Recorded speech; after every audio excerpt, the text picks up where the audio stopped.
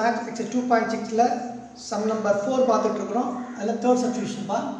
Two x square minus three by x cube power ten கொடுத்துருக்குறாங்க. அப்போ இதான இப்போ எக்ஸு இது எக்ஸ் ப்ளஸ் ஏங்கிற அடிப்படையில் ஏங்கிறது minus three by x cube கவனமாக இருக்கணும்னா ஸ்மால் என் வந்து டென் கொஸ்டினில் மிடில் டேர்ம் கேட்டிருக்கிறாங்க. இப்படி கேட்டாங்கன்னா ஸ்மால் என்ன கேபிட்டல் நான் மாற்றணும்னு பார்த்துருக்குறோம். கேபிட்டல்ங்கிறது ஸ்மால் என் ப்ளஸ் ஒன் இப்போ டென் ப்ளஸ் ஒன் லெவன் வந்துடும் ஆடாக இருந்தால் capital n plus one by two திட்டம் ஈவனாக இருந்தால் n by two comma n by two plus one திட்டம். இது ஆட் டேர்ம் அப்போ n plus one by two term போட்டுட்டு என் என்னது eleven eleven plus one by two வந்துடும் அப்போ டுவெல் பை டூ வந்துடும் இப்போ சிக்ஸ்த் டேர்ம் வந்துடும் அவ்வளோதான் அப்போ சிக்ஸ்த் டேர்ம் இது மிடில் டேர்ம் தெரிஞ்சிச்சு அந்த மிடில் டேர்மோட வேல்யூ கண்டுபிடிக்கணும் நம்ம. அப்போ டி ஆர் ப்ளஸ் ஒன் ஃபார்மில் கூட போகிறோம் NCR experiment sir r a power r ரெண்டு சப்ட்ராக்ட் பண்ணாமல் எக்ஸ் பவரில் இருக்கும். இந்த ஆர் இங்கே வந்துடும் சொல்லியிருக்கிறோம். நம்ம தேவை டி சிக்ஸ் அப்போ ஆர் ப்ளஸ் ஒன் இருக்கிற இடத்துல சிக்ஸ் இருக்குது அப்போ ஆர் ப்ளஸ் ஒன் சிக்ஸ் போட்டுக்கிறேன்.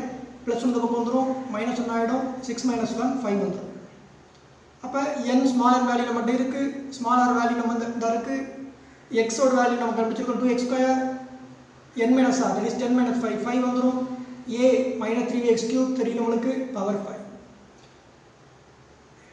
காம்பினேஷன் வேல்யூ அப்படியே வச்சுக்கிட்டு இருக்காங்க உங்கள் புக்கில் அப்போ அதை எப்படி நம்ம டென் சி ஃபைவ் வச்சுக்கிடுவோம் இதை நீ சிம்ப்ளை பண்ண வேண்டிய அவசியம் இல்லை. Two power five x square power five x power ten இந்த பவர் ஃபைவ் ரெண்டுக்கு பொருந்தும்லவா டூ பவர் ஃபைவ் போட்டுட்டேன். பவருக்கு மேலே பவர் தான் மல்டிப்ளிகேஷன் இப்போ டூ ஃபைவ் தான் டென் வந்துருச்சு minus power odd number minus power odd number அப்போ minus minus power even number இருந்தால் மைனஸில் ப்ளஸ் ஆகியிருப்பேன் நான் இங்கே மைனஸ் பவர் ஆர் நம்பர் இருக்கிறனால மைனஸ் வச்சுருக்கேன். Three power five x power three power five இப்போ பவருக்கு மேலே பவர் தான் multiplication three five sir fifty அவ்வளோதான் பாருங்க அந்த மைனஸ் மாதிரி கொண்டு வந்துட்டேன் ten C five two power five இங்கே ஒரு நம்பர் இருக்குது த்ரீ பவர் ஃபைவ் ரெண்டு ப்ராடக்ட் இருக்குல்ல. இங்கே பாருங்களேன். இங்கே டென் எக்ஸ் இருக்குப்பா இங்கே ஃபிஃப்டீன் எக்ஸ் இருக்குது கேன்சல் பண்ணலாம்ல. அப்போ டென்னை கேன்சல் பண்ணிட்டு தான் மீதி ஃபைவ் வருமாப்பா அதான் எக்ஸ் பவர் ஃபைவ் போட்டுருக்கேன். இங்கே டென் எக்ஸ் இருக்குது இங்கே ஃபிஃப்டீன் எக்ஸ் இருக்குது அப்போ டென் போயிடுச்சுன்னா மீதி எக்ஸ் பவர் ஃபைவ் வந்துடும் பாருங்கள் பவர் ஒரே மாதிரி இருந்தால் பேஸை மல்டிப்ளை பண்ணலாம்ல? இப்போ டூ இன்ட்டு த்ரீ சிக்ஸ் வந்துடுமாப்பா பவர் ஃபைவ் போட்டுக்கலாமா? பேஸ் ஒரே மாதிரி இருந்தால் மல்டிப்ளிகேஷனில் பவரை ஆட் பண்ணுவோம். அந்த ரூலும் இருக்குது இதுவும் ஒரு ரூல் தான். பவர் ஒரே மாதிரி இருந்தால் பேஸ் ரெண்டையும் மல்டிப்ளை பண்ண சொல்லியிருக்காங்களா?